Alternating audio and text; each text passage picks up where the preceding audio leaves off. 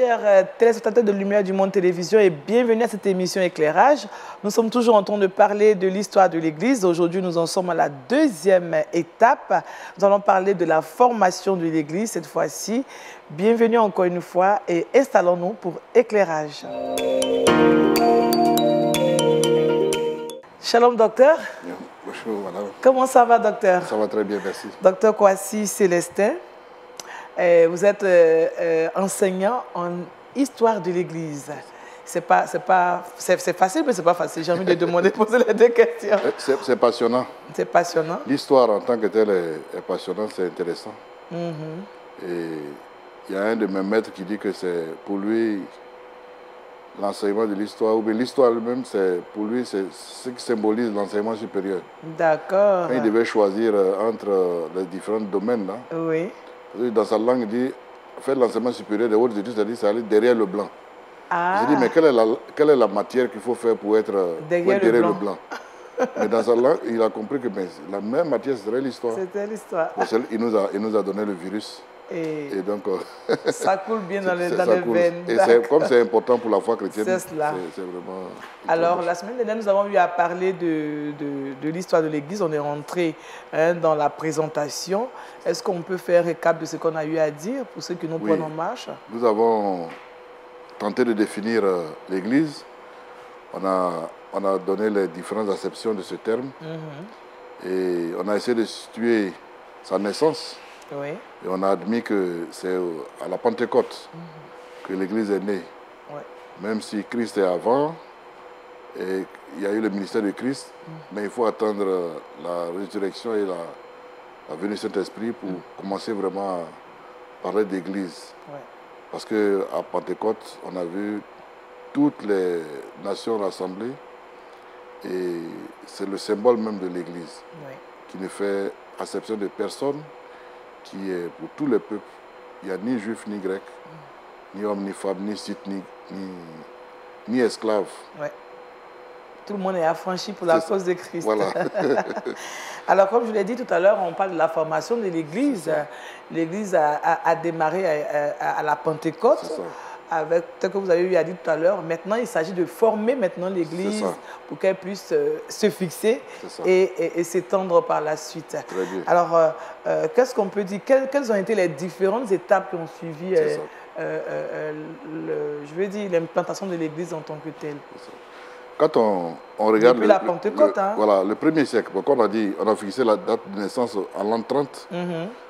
Euh, je ne vais pas rentrer dans les détails pour ne pas. Comme il faut éclairer les chrétiens. D'accord. faut pas, mais souvent les gens confondent les 33 ans de ministère avec l'année des choses, parce qu'il y, a- il y a un certain nombre d'éléments qui rentrent. Mais il faut vraiment, c'est des spécialistes, on ne va pas embrouiller les chrétiens D'accord. à partir de... De, de cela. Il y a toute une datation qui, qui, qui permet de fixer ça à, à l'an 30. Puisque la naissance elle-même, l'année 1, la naissance elle-même, Oui. euh, il y a un petit décalage qui a eu lieu D'accord. par rapport à, à- parce que ça correspond, a- avant la- le calendrier chrétien, il y a le calendrier romain. Le calendrier Dans romain. le système romain, ça correspond à l'an 550 de Rome. Mhm. Donc, Rome, donc si on, on fixe ça à cette date, À l'an 550 de Rome. sept- 750 de Rome, ça veut 750. dire qu'il y a des événements qui, qui ont eu lieu. La naissance, c'est pas possible puisque les documents donnent des informations sur euh, cette période Ah qui fait que, par exemple, le Hérode, Hérode, par exemple, c'est- il est mort avant 750 de Rome. Ah bon, C'est pas si vous comprenez. je comprends. Voilà. Donc, il est mort avant 750 de Rome. Donc, alors que on sait que c'est lui qui était la, Qui était la- le, le- le- qui le roi en ouais, qui menaçait la vie de Jésus. de Jésus. Donc, euh, ça veut dire que cette histoire serait forte. Donc, il y a un problème de décalage. Mhm. Donc, quand il dit l'an 30, c'est c'est par rapport à ce, ce phénomène-là. D'accord. Donc, l'église qui naît en l'an 30, elle, quand même, a besoin d'être formée. Il y a un temps de formation. Mhm. Et quand on regarde le reste du premier siècle, qui va donc de l'an 1 à l'an 101, Oui. on peut faire euh, cette. euh, euh, on peut voir hein, schématiquement, hein, pour expliquer qu'il y a eu quand même trois grandes périodes. La première période, c'est ce qu'on appelle la période de la formation de l'Église.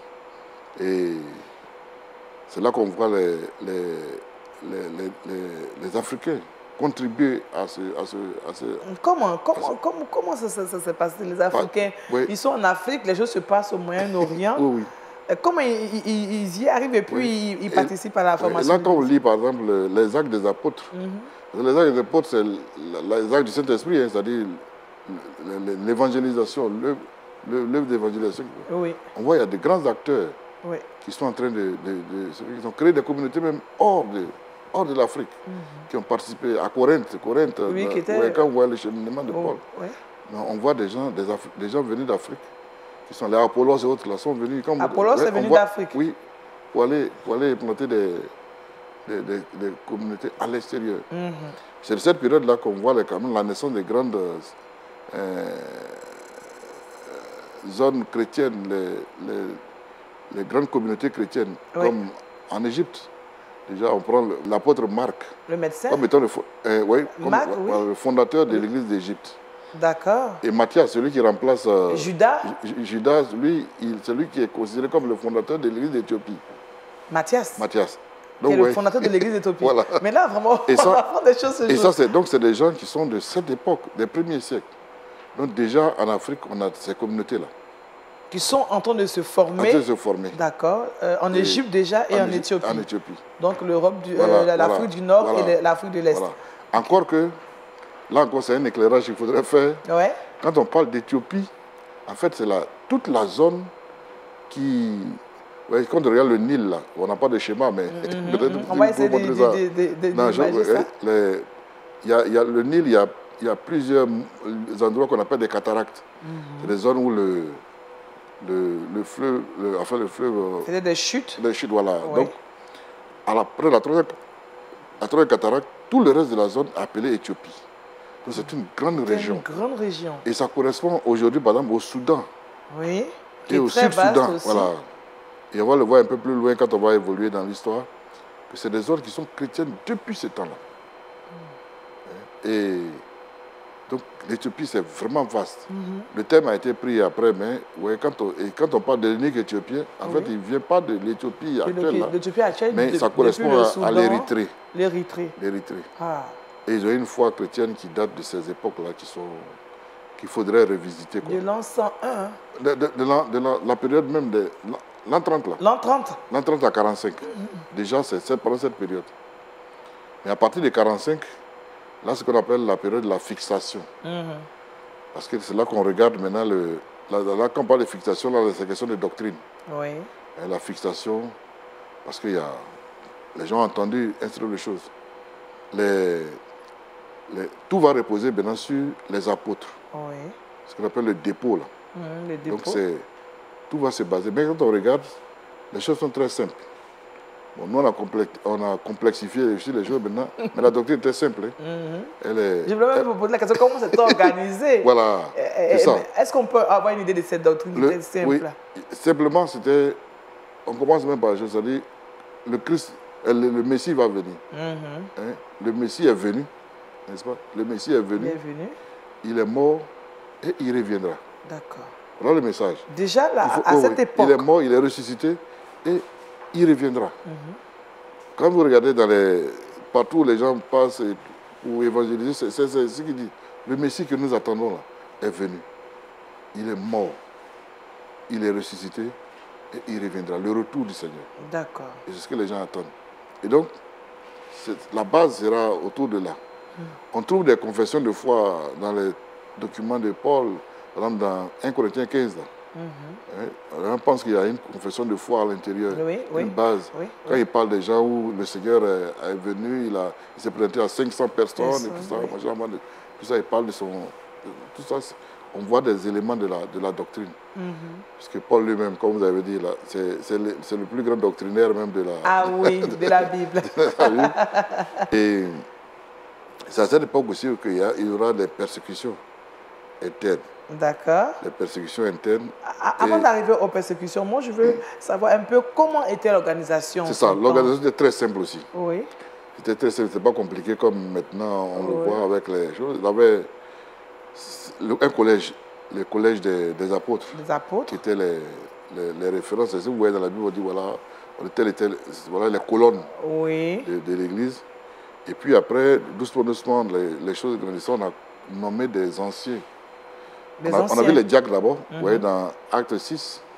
Et puis après, on, on nomme les, les, les- anciens Oui, qui vont être, on dit le terme grec là, évêque. Évêque, Évêque. évêque, mais oui. ça veut dire ancien, hein, tout court. Ah, d'accord. Dans, dans- dans les différentes communautés qui étaient dans les maisons, C'est ça. n'est-ce pas, on voit les anciens? Mhm. Et même pour vous, on peut dire que les gens pensent que ceux qui analysent les choses pensent que parmi les anciens, il y avait des dames. Des, des- des Il y avait des, des femmes, hein, femmes qui étaient appelées anciennes, on va dire Là, anciennes. À hein. partir, voilà, à partir de, du, du nom là, tel que posé, on, on suppose que ce sont Il des y avait femmes. des femmes euh, qui Voilà, étaient aussi, c'est qui ça. faisaient partie de cette Voilà, organisation. mais il je sais qu'il y a des gens qui ne sont pas d'accord avec ça. C'est cela. Donc, ça veut dire que déjà, même dès la formation de l'Église, les femmes n'étaient pas mises au, au- au- au second rang. Elles, elles étaient- elles participaient à, cette C'est formation. ça. Et là, c'est. Bon, je sais que les gens voient, il y en a qui disent qu'ils ont des problèmes avec le, le Nouveau Testament, la Bible, parce qu'elle est- elle, ne donne pas la part belle aux femmes. Mhm. Mais il faut lire entre les lignes, on voit il y a beaucoup de choses. Il y a beaucoup de femmes Il y a qui, beaucoup qui de ont femmes travaillé. qui, oui, même dans le prolongement, quand pendant que Jésus se déplaçait, il y a des, des personnes qui étaient là qui, faisaient un travail de, de, de fort. D'accord. Euh, Les Jeannes et autres là qui faisaient ce travail, mais discrètement quoi. Euh, tout à l'heure, vous avez évoqué le, le- le côté, euh, l'Afrique qui, qui a, qui a contribué à la, à la- à la formation de l'Église, à, son expansion. Mais est-ce qu'on peut avoir un, un- un éclaircissement un peu là-dessus? Parce que on a dit Matthias a, fait partie de, enfin, a- celui qui a créé l'Église en, en Éthiopie. De- en Éthiopie. Et puis, euh, dans, puis dans mes recherches aussi, j'ai découvert aussi que le premier pape Oui. africain venait de la C'est Libye. ça. Là, ça viendra plus tard. Mhm. Nous serons au deuxième siècle. Deuxième siècle, Victor, là, au deuxième siècle, il viendra, on parlera, de, on parlera même des. Ceux qui ont formé la théologie chrétienne, là, on va voir, on va les citer, c'est vraiment des C'est Africains. les Africains. Voilà, les Tertulliens, les, les Cypriens, c'est Cyprien de Carthage, Cypri- euh, Tertullien de Carthage.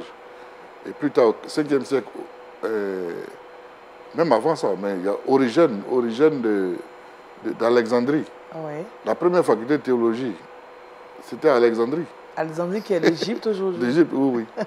Et ça, les gens occultent ça, on ne se rend pas compte. C'est ça. Et ça, ça va venir un peu plus tard. Mais la période que nous examinons ici, au premier siècle, là, la chose que nous voyons déjà, c'est vraiment dans l'évangélisation, la création des communautés. Et les communautés qui naissent, qui sont les plus fortes, qui sont en Égypte. Et, et déjà, parlant de guérison, là, Mhm. on- les chrétiens, à cette époque-là, on les appelait des. On, on les considérait comme des gens qui guérissaient. Comme le terme fort, c'est thaumaturge. Les thaumaturges. Avec L'aspect euh, guérison qui, était, qui les caractérisait. D'accord. Et ça, on le Par la voit dans- prière, Voilà. par la prière, Par la les, prière, les âmes, les personnes étaient voilà, guéries. Voilà, guéries. Oui.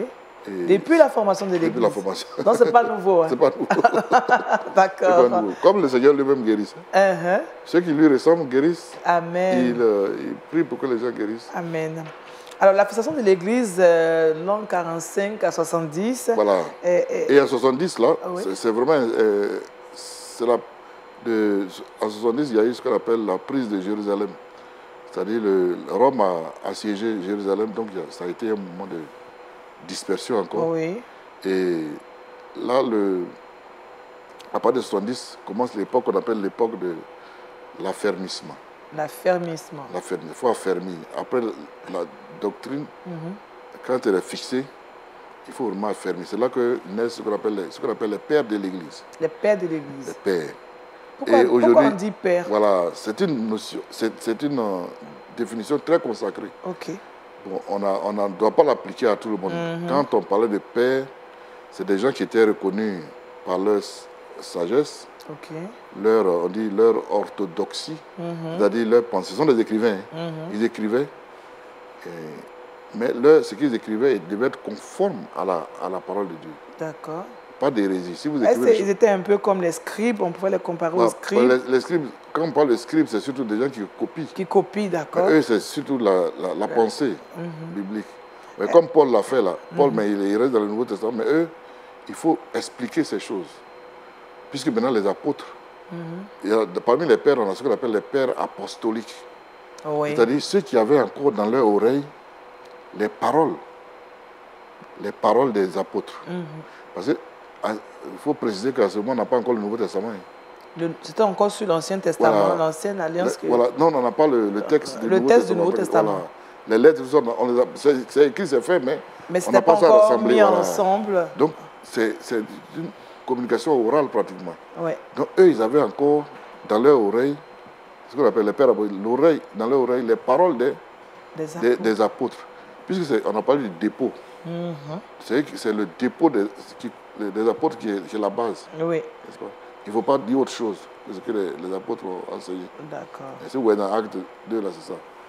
Était- L'enseignement était basé sur ce que les, les apôtres enseignaient, Ah, ouais. la doctrine des apôtres. Mais eux, ils ont gardé ça dans leur oreille.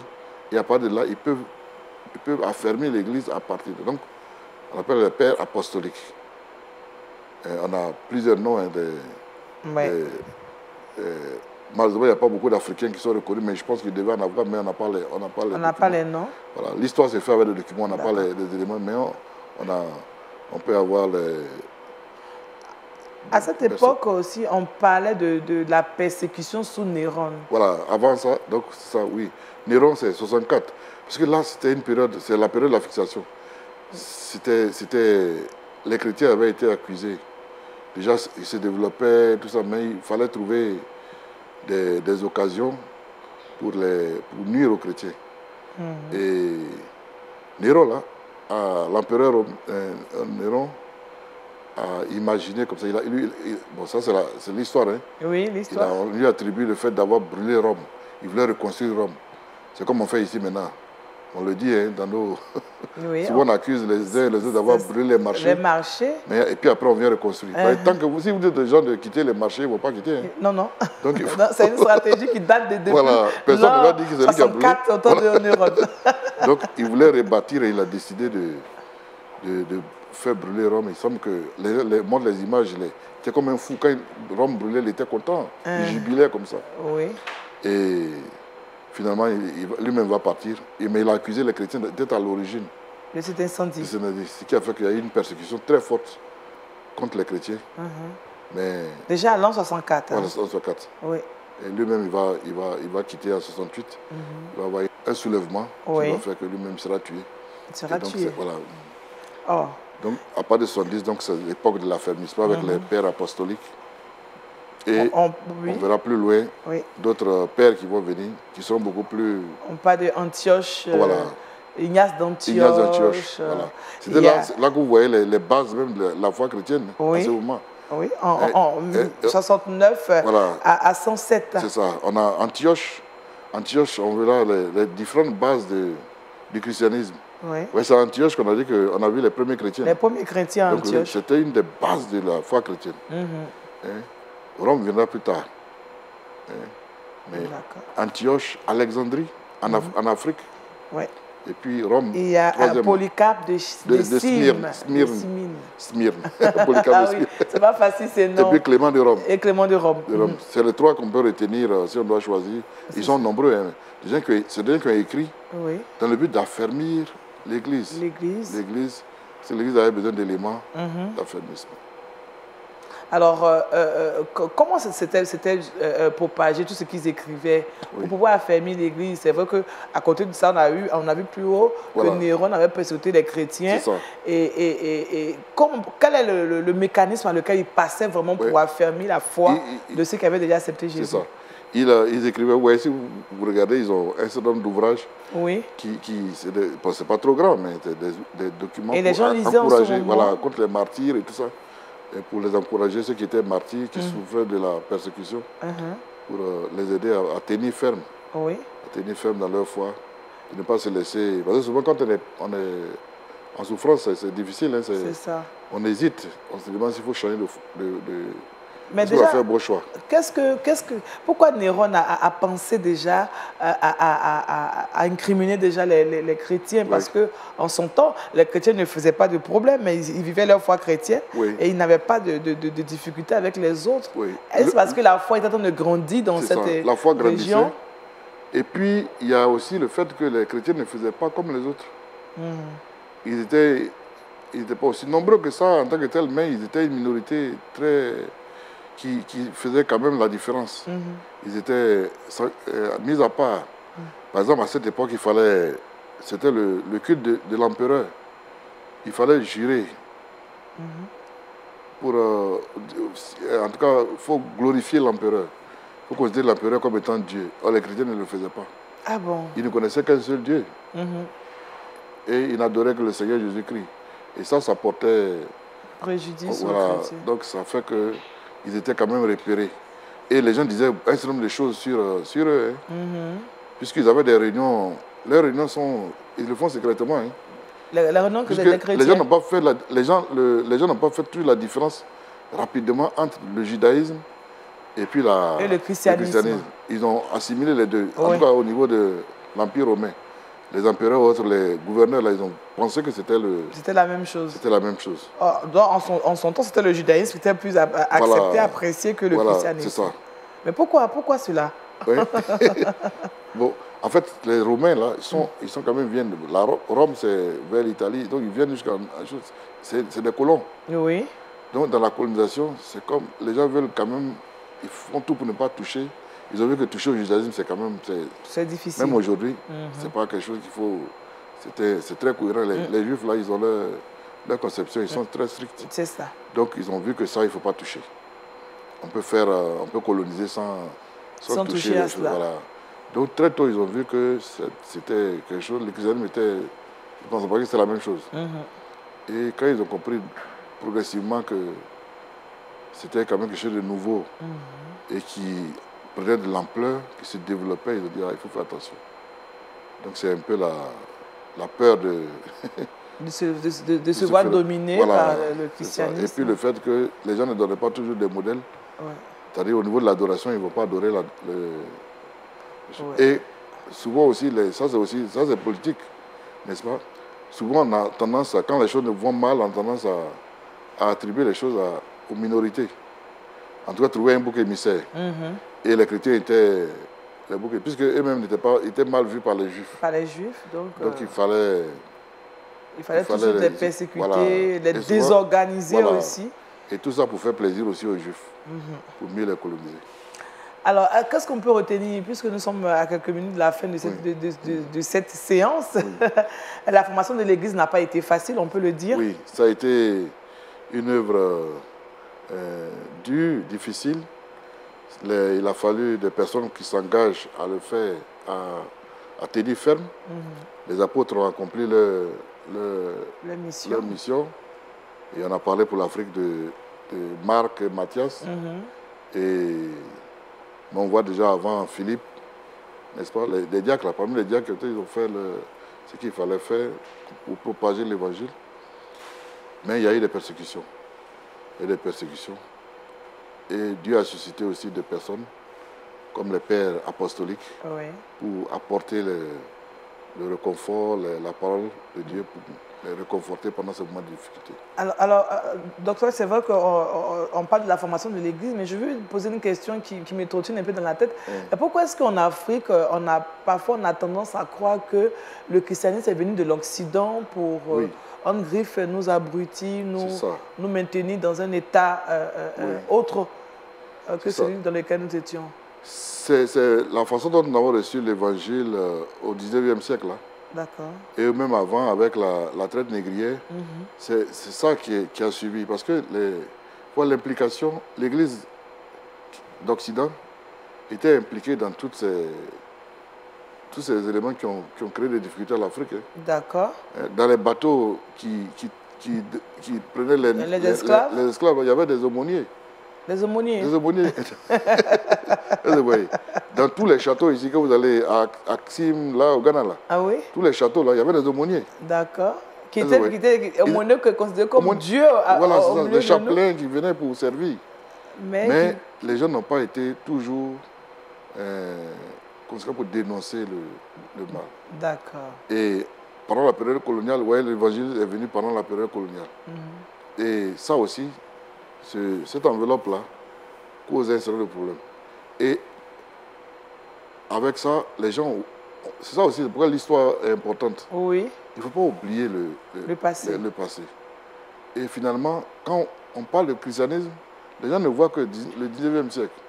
Ou bien la chose, ouais, cette, cette chose- non, mais ce n'est pas possible. Oh, les choses ont commencé bien avant, à l'an 30. Au début.